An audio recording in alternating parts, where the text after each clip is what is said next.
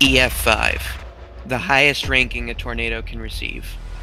With wind speeds of over 200 miles per hour, these killer twisters are unstoppable, tearing houses off their foundations with ease, driving paper through trees, scouring the ground up to 20 inches deep, and worst of all, killing hundreds. Luckily, there is hope if you have a tornado safe room above or underground. However, all across the internet, there have been discussions and even videos about tornadoes receiving an even higher ranking, EF6. But just how likely is a tornado that would be devastating enough to earn the impossible 6th rating? Let's find out.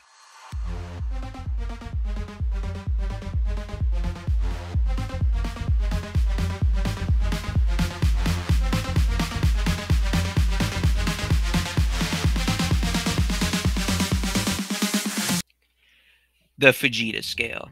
In 1971, Ted Fujita created a scale in which tornadoes could be ranked by damage and wind speed. However, it became outdated and the US adopted the EF scale, which has 31 specific damage indicators. Despite what anyone tells you, there have actually been multiple. One was even given an official ranking, April 3, 1974, at 4:40 p.m., during the super outbreak of 74. A tornado with wind speeds of 260 miles per hour flattened the town in just 9 minutes.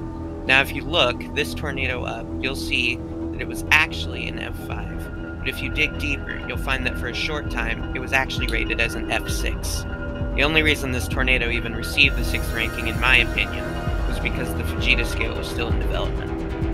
Jarrell, Texas.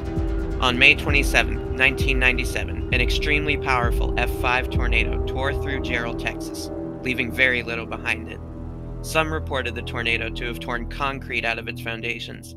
Others stated that steel beams were bent and mangled. This tornado had top wind speeds of an estimated 318 miles per hour.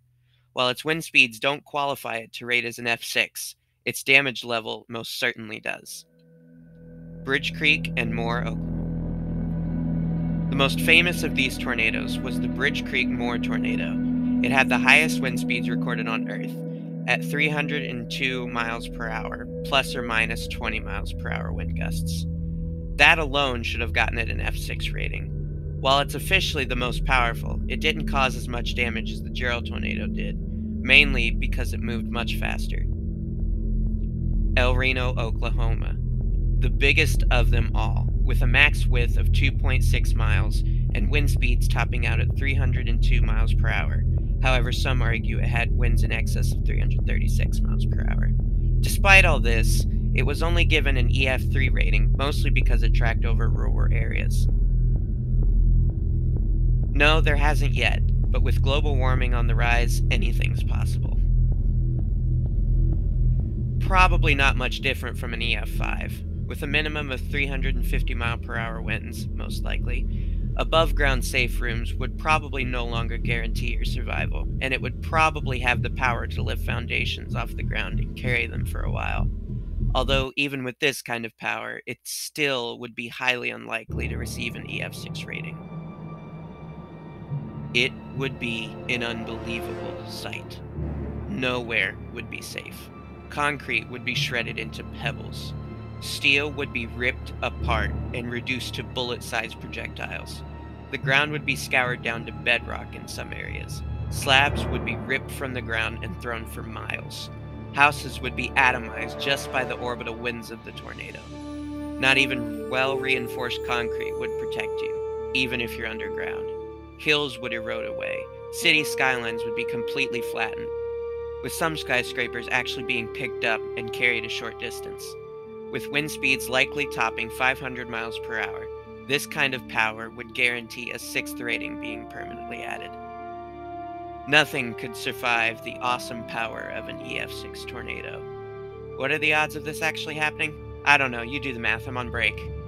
But, anyways, that's what it would take to guarantee a sixth rating being permanently added to the scales. Check out these two videos to see a real time EF6 tornado simulation. Like and subscribe for more, and I'll see you on the next chase.